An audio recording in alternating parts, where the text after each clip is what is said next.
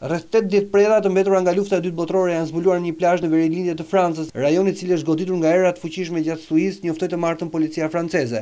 Ekspertë të çarmatosjes së mjeteve shpërthyese u dërguan menjëherë në plazhin Locmariaquer, që gjendet në Bretanjë, kurse një kordon i madh i forcave të sigurisë po ashtu ka zbarkuar në këtë vend, duke izoluar tërë zonën përreth. Predhat u gjetën nga një kalimtar, i cili kishte zënë. Predhat janë gjetur nga një kalimtar i cili i kishte prekur me këmbë gjatë vrapimit në një skaj të plazhit. Policia lokale njoftoi se erërat dhe dallgët e forta zbuluan bunkerin nëntokësor i vendosur në një cep të plazhit. Sipas forcave të rendit, të gjitha predhat janë ende aktive ndaj dhe janë marrë masa të mëdha sigurie.